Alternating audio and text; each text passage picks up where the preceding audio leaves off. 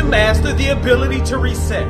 When you start saying, I want to give up and you don't want to face those people that said you couldn't do it, I need you to be able to put yourself back in the beginning of this goal and put yourself in that position where that new excitement and that new energy was propelling you towards. I need you to put yourself back in that place and be able to do it continuously and allow it to propel you to put your head down and run dead smack through that brick wall of discouragement until goal that you set out.